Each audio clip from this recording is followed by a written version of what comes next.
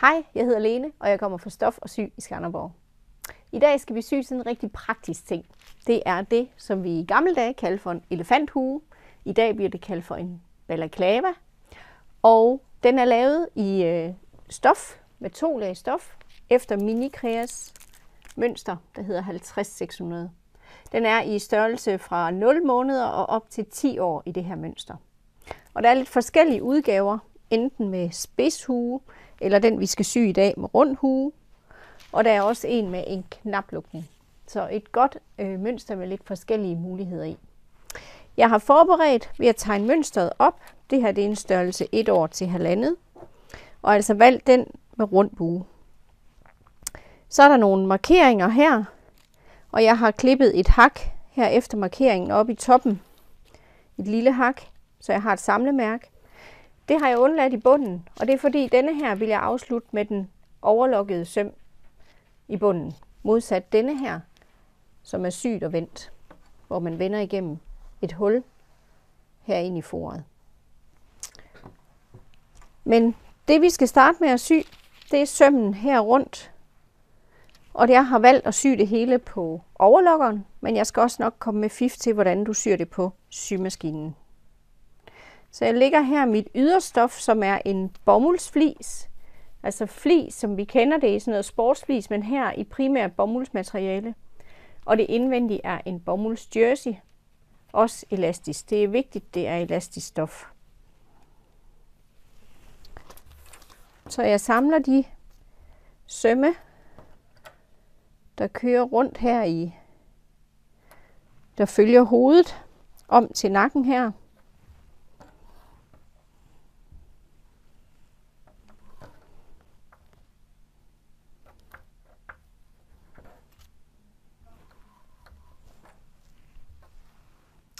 Sådan her. Og så skal jeg så overlokke sømmen her. Og jeg har mit pasmærke heroppe i toppen af hugen, jeg lige skal have styr på. Jeg vil gerne lige la lave en lille praktisk effekt, og det er, at jeg har taget sådan et lille stykke refleksbånd og lægge som sådan en lille tag, jeg sætter ind her midt bag, så der altså er sådan en lysende effekt bag på hugen. Den sætter jeg lige fast med min klemme her ind imellem sømmen.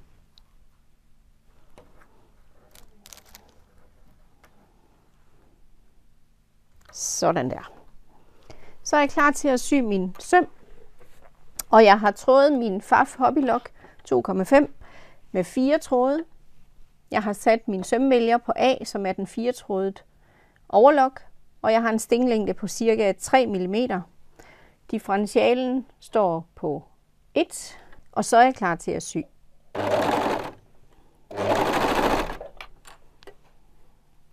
Og jeg får lige mine pasmærker til at passe her på toppen.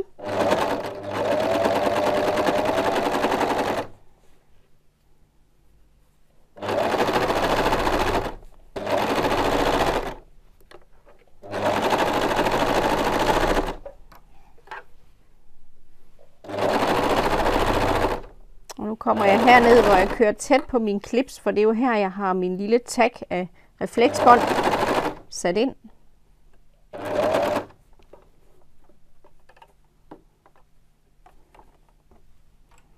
Sådan her. Lige ret lidt til. Og det er bare for en effekt skyld.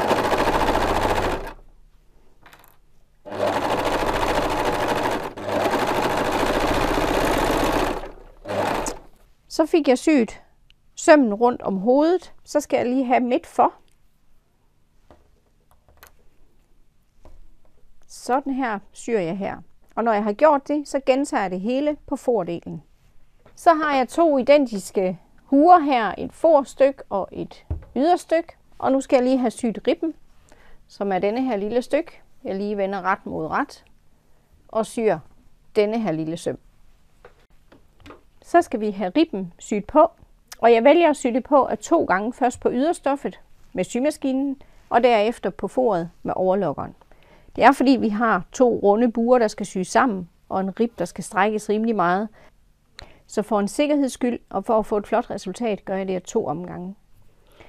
Ribben her skal jeg lige have foldet, og for ikke at få en tyk søm, hvor ribben er foldet, så klipper jeg lige et hak ind i der, hvor jeg skal folde min rib. Klipper helt ind uden at klippe min nåletråd over her. Så kan jeg vippe ribben til hver sin side, og så folde her omkring. Så har jeg fordelt mit sømmerum, så ikke jeg får sådan en tyk kant her, hvor sømmen er samlet. Jeg placerer sømmen op i panden. Jeg synes, det er rart at have sømmen op i panden, end nede ved, ved munden hernede. Det er jo noget, der sidder tæt på ansigtet. Og der sætter jeg så min clips.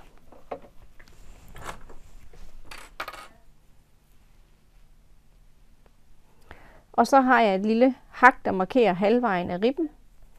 Og den sætter jeg hernede ved min midtforsøm.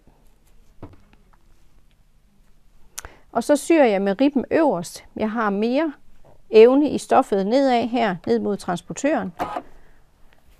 Og så kører jeg rundt i kanten. Og jeg har bare valgt en let zigzag. Det er jo lige for at holde de to lag sammen, så jeg har styr på den, når jeg skal sy det sammen med mit for.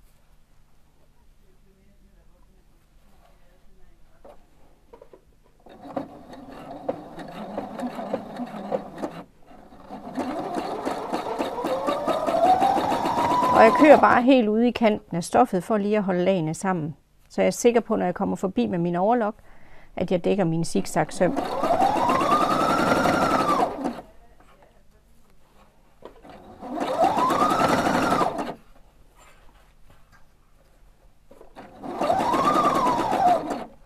kommer jeg ned til min midtforsøm her, og jeg har mit hak. Jeg skal passe hen over hinanden.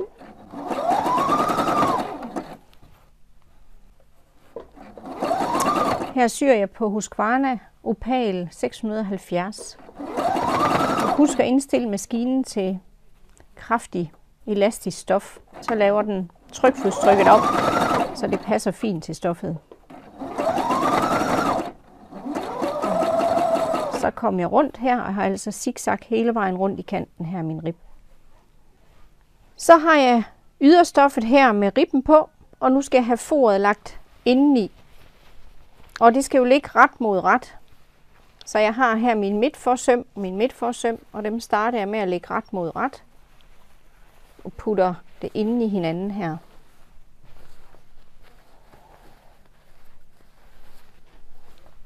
Og igen bruger jeg lige min kloverklips til at holde sammen på det hele.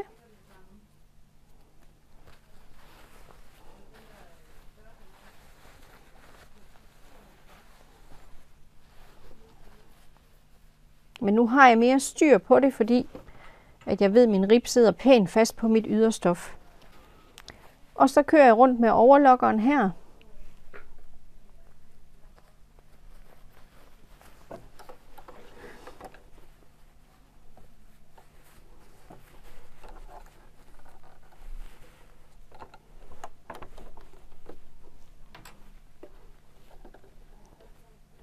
Og de alle kanterne flugter hinanden.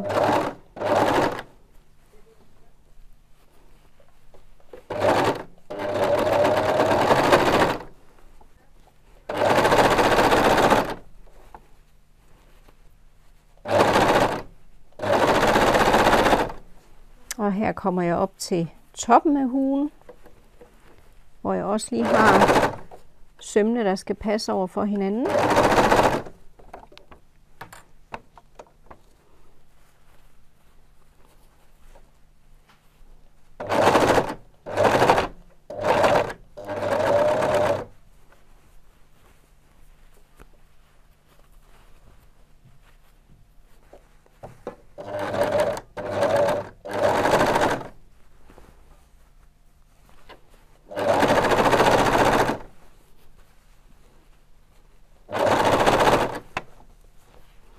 Men grunden til, at jeg slutter af med overlokken, det er, at så får jeg et smalt sømmerum, som ikke fylder ret meget. Igen sidder det tæt på ansigtet, så vi skal ikke have nogen tykke sømmerum, der ligger og fylder.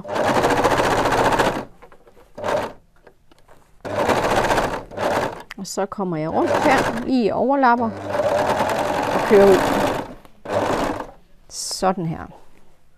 Så vender jeg rundt her på det hele, og så vil jeg gerne lige have en stikning til at holde de her sømmerum rundt i ribben. Mm. Kan fornemme, hvor vi er. Og nu skal vi have lavet en stikning lige til at holde sømmerummene nede. Så er jeg klar til at sy min stikning rundt i kanten her. Og jeg har valgt en lige ud sting med lidt stinglængde, cirka 3,5 mm stinglængde. Og kører cirka en 4-5 mm fra kanten af sømrummet. Og jeg har foret nederst. Det ligger herinde, og det skal man selvfølgelig sørge for at trække godt til, at det ligger glat her. Og så kører vi en tur hele vejen rundt.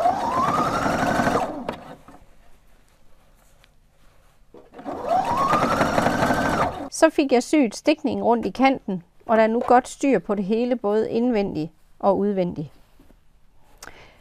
Og nu vil jeg lave den afsluttende kant nede i bunden, og den vil jeg lave på overlokkeren. Men hvis du nu ikke har en overlokker, så måden du laver en pæn overlok i to lag stof, det er ved at bruge din trykfod til overlok. I det her tilfælde på Husqvarna er det J-trykfoden. Og så vælger jeg her søm nummer 12. Og så kører jeg simpelthen og flugter kanten op ad den, det spor, der er her på J-trykfoden. På den måde, så ligger øh, trykfoden. Tråden kommer lige ud over kanten. Og man kan køre en fin overlok, uden at skal klippe noget til bagefter.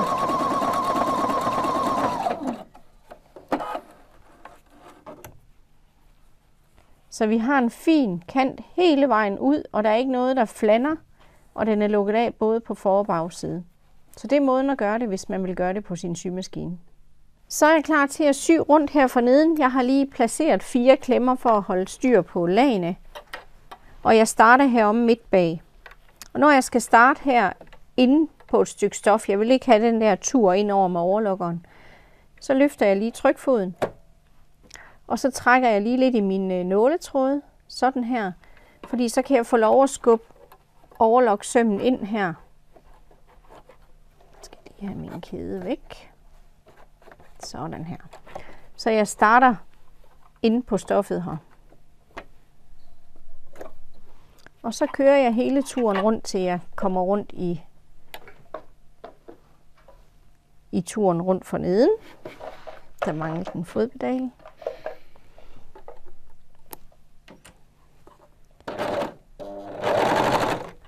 Jeg har sat stinglængden ned på, på to, fordi jeg vil gerne have sådan lidt en tæt kant. Og så er det her jo sådan nogle fine buer, så det er vigtigt, at jeg ligesom presser stoffet ind mod kniven, så jeg får overlokken ens hele vejen rundt. Husk også at lægge mærke til, om det flander. Hvis det buler lidt, så skal I have lidt mere differentiale på. Det er den, der sidder her omme bagved. Og sørge for, at transporten den er god. Så nærmer jeg mig afslutningen, og jeg klipper lige min starttråd af helt tæt til. Og så kører jeg lige ind og overlapper. Lige med et par centimeter. Og så holder jeg nu her med nålen op, så kører jeg et sting baglæns på håndhjulet. På den måde får jeg overlokken til at slippe sin kæde, og så kan jeg trække den ud her. Sådan her. Jeg kan se nu den sluppet sin kæde, og så kan jeg trække trådene fri. Sådan her. Og så er det lige at trække trådene ind på bagsiden og binde en knude. Og så har vi en fin kant rundt her i, i alle svingene her med en fin overlok. Så kom hugen på vores lille model her. En fin, god hue, der sidder rigtig godt og er lun. Og i denne her udgave i bomulds jersey og bomulds flis, jamen så er det noget, der er nemt at vaske. Så rigtig god fornøjelse med at sy elefanthuer.